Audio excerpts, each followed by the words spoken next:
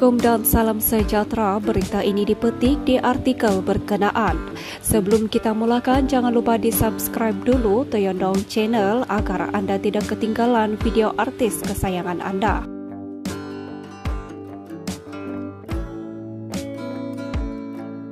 Seorang peniaga pakaian didakwa di Mahkamah Seksyen di sini hari ini atas 10 pertuduhan membuat hantaran menghina Allah, Nabi dan agama Islam di laman sosial Facebook dua bulan lalu.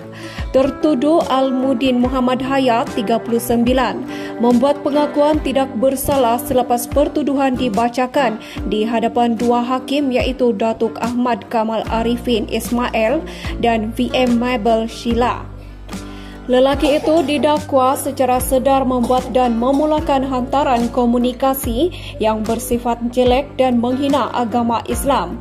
Allah dan Nabi menggunakan akaun Facebook miliknya Ali Tikos dengan niat untuk menyakitkan hati orang lain.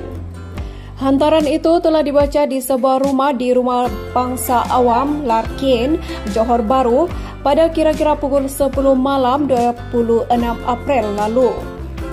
Tertuduh didakwa mengikut Seksyen 233 1E Akta Komunikasi dan Multimedia 1998 Akta 588 dan boleh dihukum di bawah Seksyen 233 3 Akta sama.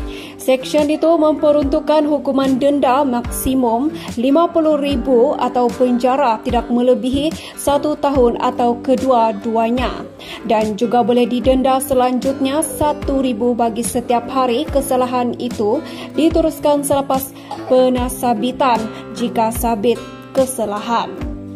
Pendakwaan dikendalikan Timbalan Pendakwa Raya Umar Faiz Abdul Kohar dan Nor Idayu Salim serta S. Tivia manakala tertuduh tidak diwakili peguam. Terdahulu pihak pendakwa menawarkan jaminan sebanyak RM15,000 bagi pertuduhan pertama hingga ke-6 dan seorang penjamin. Ali Mudin dalam rayuannya memohon agar mahkamah mengurangkan jaminan dengan mengambil kira dia yang telah bercerai dan mempunyai dua orang anak berusia 4 serta 8 tahun.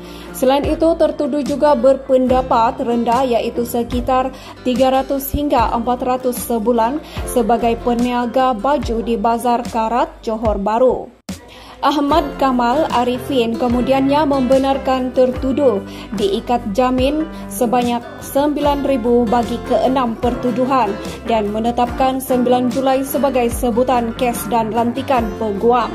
Manakala Mabel Sheila menggunakan pakaian ikat jamin dan tarik yang sama bagi pertuduhan ke-7 sehingga ke-10. Tertuduh tidak membayar jaminan tersebut.